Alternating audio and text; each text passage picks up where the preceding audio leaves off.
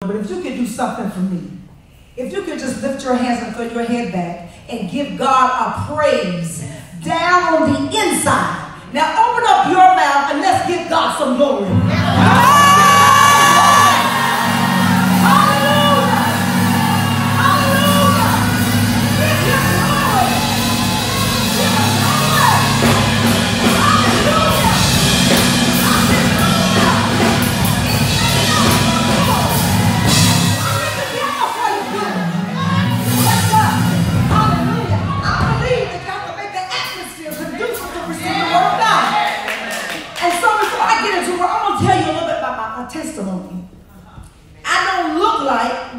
I've been through. Say that.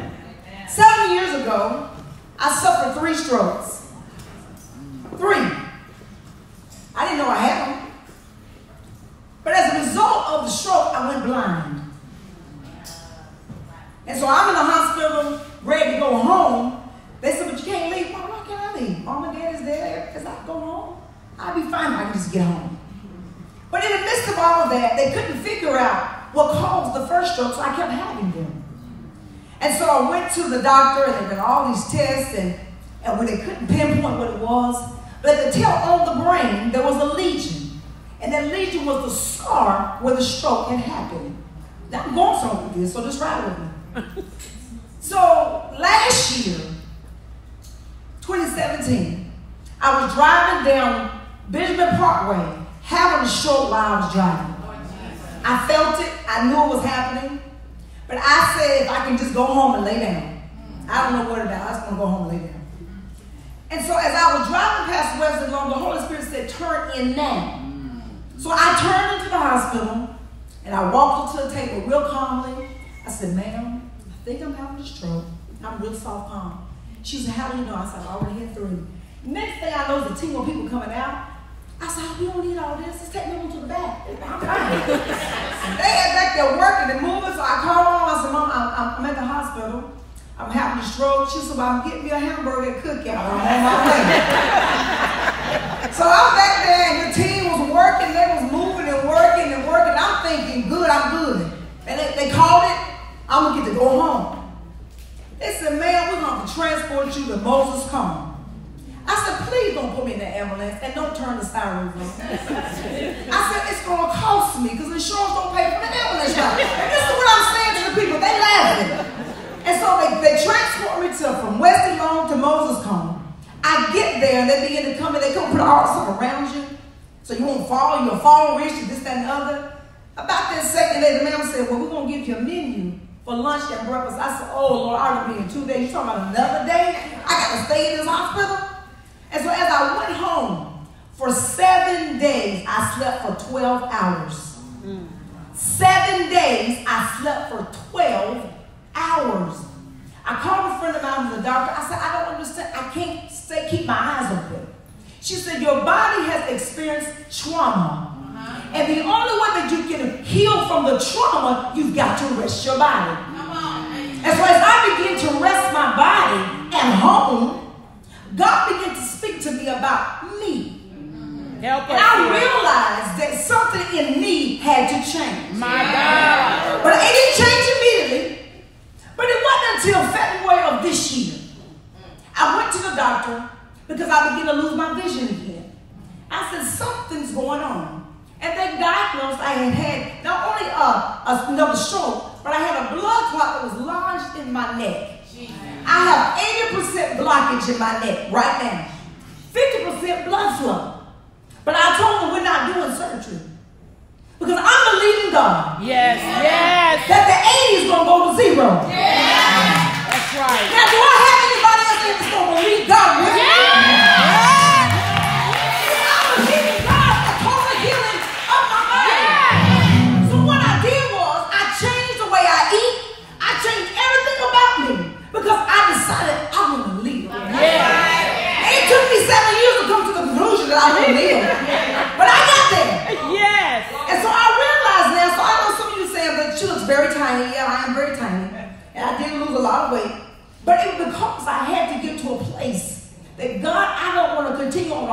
On medication. Yes.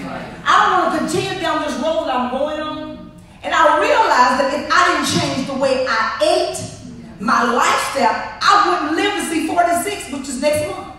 So I needed to make a life change. Yes. So I'm saying to you in this empowerment session this morning, if you want to get to the come up, you got to change your lifestyle. My God. Help us. If you want to come up, you've got to change your lifestyle. Growing up, we played a game called hide and seek.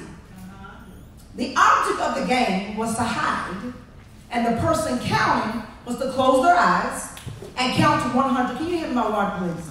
I'm on medication, makes my mouth dry. While everyone else is hiding, the seeker opened his or her eyes. Is it right there? I think it's right there.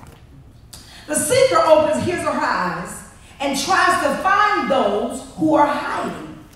The second part of that is difficult.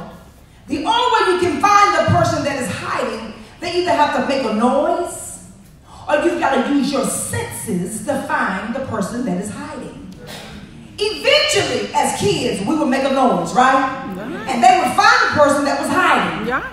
But the object was the person that you caught the first time was the seeker, but the last person that was found was the winner. I'm going somewhere with this. A seeker is curious and has the expectation of what is to come. Bishop Graves wrote a song, The glory of the Lord is here, and his presence fills our being. The anointing destroys every yoke. And he said, and he seeketh such that worship him. Do I have any seekers in the house this morning? Yes. So many times we're looking for things in the wrong places. Mm-hmm. And Pastor Lisa told us last night, the only way that you're going to find who you are is in the Word of God. Yeah. Now, I can get a prophecy all day, but if I keep my prophetic word not line up with the Word of God, I question the prophecy. Because God's going to always come to you first. He's never going to kick you off guard because He warns us before it comes. Right. So don't let a warning come. Be obedient to the voice of God. That's right. Matthew 20 and 16, I do have some scriptures. I, I, do things unconventionally, but I do have the word of God. Matthew 20 and 16 says, So the last shall be first, Yes. Mm-hmm. and the first last. Yes. For many are called, but few Are are chosen. Yes. So you may be wondering, why am I talking about a childhood game of hide and seek? And how does it relate to the come up? Well, I'm glad you asked. The way you come up is out of a direct reflection of your relationship with God. Right. So I want to ask you, what is your relationship like? If you don't find yourself seeking God on a continual basis, I question, do you have a true, authentic relationship with God? You know, developing a relationship takes time. That's right. Now, I'm a person of short patience. If I can't get it right then, I'm done with it. I'm gonna walk away. I need a quick response. But I've learned in God that I have to wait on His timing, not my timing. Right. And so, if I'm going to develop myself in the Word of God, I've got to spend time in His Word. My topic was, I forgot to give you that. I'm not a replacement. I am the comer. Yeah. Look at your neighbor and say, I'm not a replacement. I'm not the replacement. I am. The come up. Hallelujah. This may cut some of us off guard, but God is looking for seekers. A seeker has a direct connection with the Father. I have a secret to tell you. You are not the head.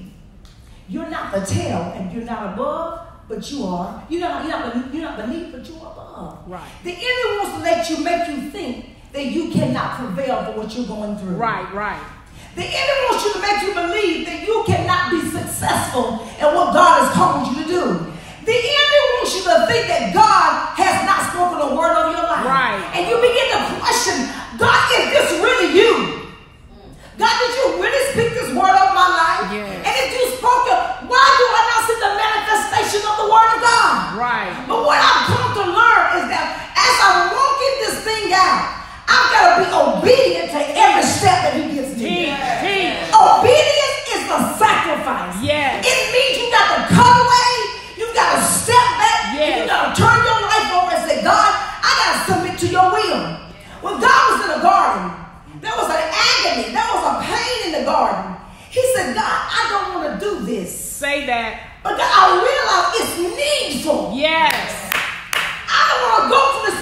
situation that I'm going through, lady, but it's needful. Yes. And then he asked the disciples, can you not watch with me for One one, hour. hour?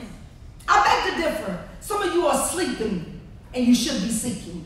I'm gonna say that again. Some of you are sleeping And and you you, should be seeking. God is looking for seekers. Upon Jesus coming out of his 40 day fast, the enemy tried to use reverse psychology and used his words against him. And Jesus, in his infinite wisdom, stated, It is written. He was reminding the enemy, My word has already been established.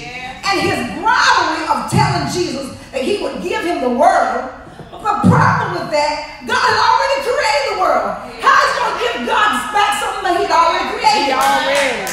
If God has already created something, the enemy can't take what God's already Right, spoken. right, right, right. He can only take it if you give it to him. Right.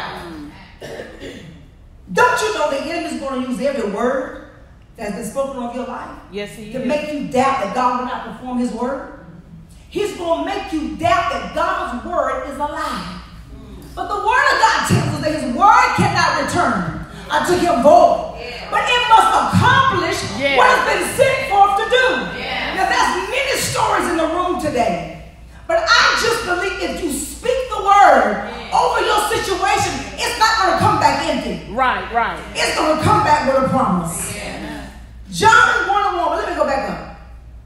During this season of the come up, I want to declare this word this morning.